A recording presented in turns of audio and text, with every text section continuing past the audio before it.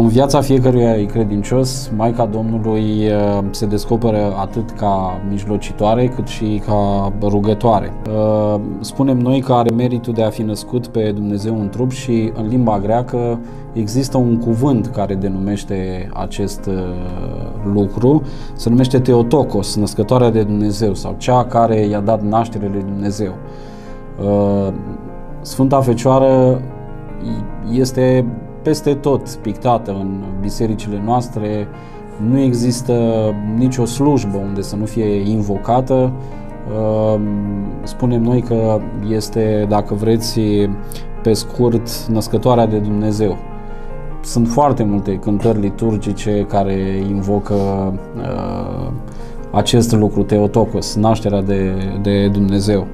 De asemenea, mai spunem noi că Sfânta Fecioară uh, a fost fecioară și a păstrat fecioria și înainte și după nașterea Mântuitorului Iisus Hristos.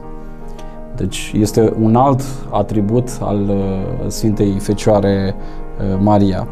Așa cum uh, de altfel spunea și colegul din cultul musulman, și pentru creștinii ortodoxi, Sfânta Fecioara Maria reprezintă un model de urmat de fapt, în Sfinții Părinți spun că este Eva cea nouă. Uh, este femeia prin care păcatul strămoșesc a încercat să, să fie spălat, iar uh, adormirea Maicii Domnului, de fapt, arată regătura dintre uh, ea și Fiul lui Dumnezeu.